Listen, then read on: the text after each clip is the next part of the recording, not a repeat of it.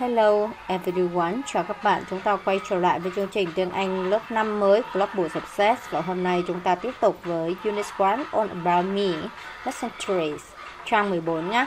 À, trong bài Lesson 3 của chúng ta có Activity 1, Listen and Repeat, nghe và lặp lại. Dolphin, Dolphin. Trong bài này thì chúng ta sẽ nhấn mạnh một số âm tiết. Dolphin, nhấn mạnh âm 1. I like dolphin. I like dolphins tennis. Nhấn âm một luôn. Âm đầu đó. Âm ten tennis. He plays tennis on Sunday. He plays tennis on Sunday. À, bài số 2 của chúng ta đó là khoan tròn nghe và kiểm tra.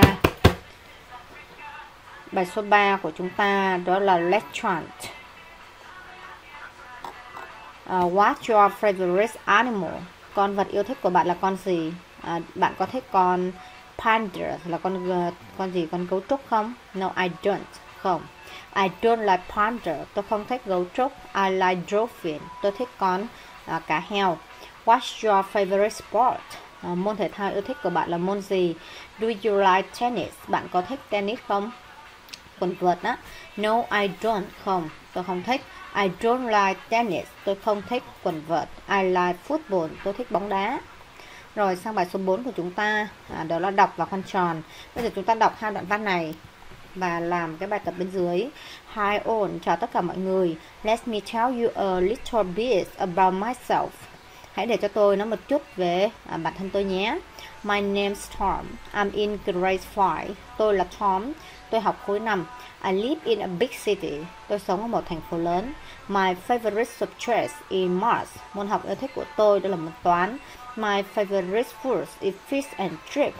Món ăn yêu thích của tôi là cá và khoai tây chiên. I'm a big fan.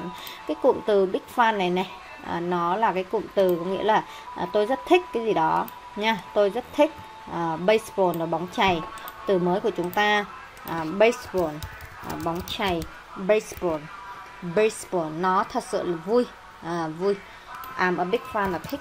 Nó bằng cái like, really like rất là thích á nhé.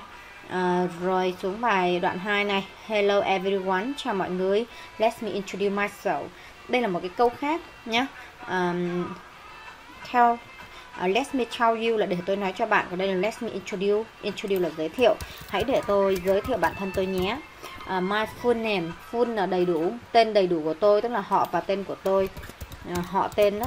Họ tên của tôi đó là Lê Mai Lan uh, you can call me Lan. Bạn có thể gọi tôi là Lan. Cái từ call này là gọi này. I'm in class 5C tôi học lớp 5C I live in the countryside. Tôi sống ở miền quê. I love pets. Pet là thú cưng. Lớp 3 chúng ta học rồi. I have two kitten kitten là mèo con. Tôi có hai con mèo con. In my house có hai mèo con trong nhà của tôi uh, my favorite color is pink. Cái màu yêu thích của tôi là màu hồng. My favorite food is phở noodle. Đó là phở tôi thích ăn phở. Uh, with chicken uh, phở gà đó. Jam rất là ngon. Uh, cái từ jam này là ngon này. Bây giờ Tom sống ở đâu? Tom sống ở một thành phố lớn vậy thì ở trên đây là ở big city vậy chúng ta còn vào câu B ở big city. Sang câu số 2 anh ta thích cái gì? Anh ta thích cá và khoai tây chiên này. Anh ta rồi cá và khoai tây chiên là fish and chip nha fish and chip là câu C. Rồi sang cái bạn Lan. Lan học lớp 5C thì chúng ta tìm 5C và khoan thôi.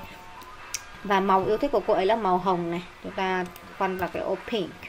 Rồi xuống bài dưới đây. À, chúng ta viết được bản thân mình. À, tên tôi là V. My name is V.